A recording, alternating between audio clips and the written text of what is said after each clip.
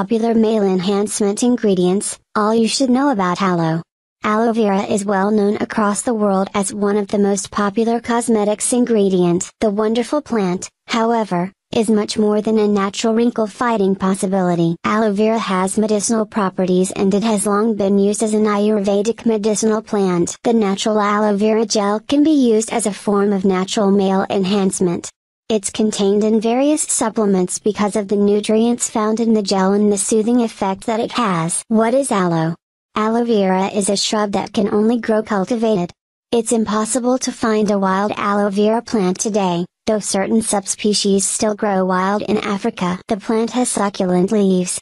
When cut, they reveal a layer of gel hidden inside. This gel is used to make cosmetics, drinks and supplements. The gel is a wonderful source of numerous vital microelements and minerals. It contains vitamins B, A, C and E, calcium, potassium, copper, magnesium, chromium, zinc, selenium, manganese. THW aloe vera gel has been the subject of research for decades.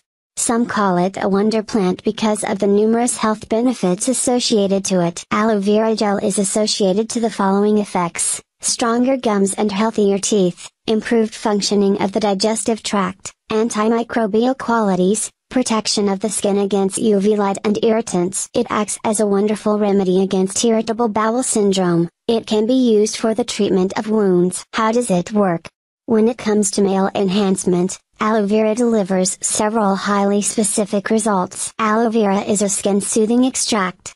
It can penetrate the skin easily and it improves the absorption of other ingredients, as well. This is why many topical male enhancement products contain aloe vera alongside a range of other active components. Many men who use penis enlargement exercises like jelqing will rely on aloe vera as a lubricant. The healing and soothing properties of the gel minimize any discomfort that could be associated to penis enlargement exercises. Apart from being used in topical remedies, Aloe vera can be consumed in the form of a juice or a supplement. The nutrients and the microelements that it contains improve overall health and can have a positive impact on the male reproductive system. Clinical studies Studies suggests that a mix of aloe vera gel and honey is an excellent possibility for improving circulation in the reproductive organs. This simple mixture can be used to stimulate the erectile response and to achieve bigger erections. Aloe vera on its own cannot accomplish significant male enhancement benefits but as already mentioned,